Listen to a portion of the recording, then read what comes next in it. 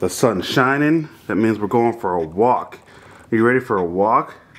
Are you ready to go for a walk outside? Okay. He wasn't ready. The second we got outside, he fell asleep. oh well. So I've been seeing a lot of misinformation and information about the coronavirus going around. And I'm definitely no expert on this topic, and neither are a lot of you.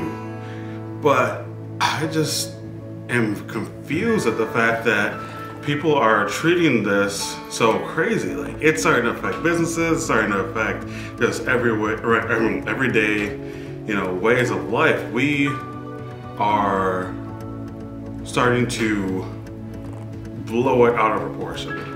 Um, I'm not going to spout out any facts or spout out any kind of knowledge that I've done for my own self-learning um, on this topic, but what I would do is suggest that you do some of your own. Look at some of the things that people are saying is so bad about it. Look at some of the things that people are saying is not so bad about it, but most importantly, look to what the experts are saying. Um, I think that's gonna help save a lot of time as far as where you spend your time and brain power. It's gonna save you some money on not stocking up on supplies that you do not need to stock up on.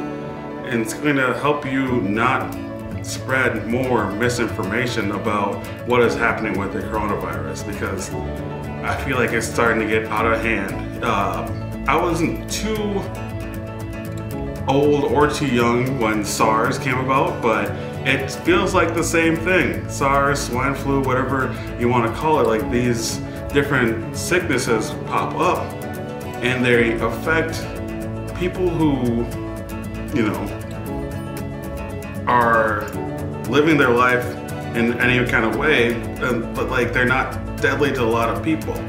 Uh, going back to coronavirus, the people who are dying from this, I would say look into that because it's going to help you understand how severe it can be for you as a person who is watching this YouTube video. So like I said, I'm not going to go into so much information, but I would just say go out there and find out for yourself, educate yourself in different ways than just what you're seeing on social media. I really think it'll be beneficial to you and anyone that you talk to about the subject. You don't need to become an evangelist for either side. Just educate yourself and know what is going to be best for you and for those around you. Hey neighbor. No, I want to talk to you. I was on vlog six already. Yeah.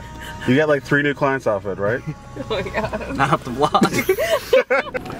We're on a Target run, and so far, I'm guessing people think that toilet paper and Tylenol is the cure for coronavirus. Yeah, what's on your mind? I hope that all the people that came and raided the household items and canned goods also wash their hands because that's actually what's going to help them. They just started washing their hands, so right? they're, they're like, good to go. That's new to them. So like if you have coronavirus, you're just gonna shit your life out? I guess. You just eat all the toilet paper.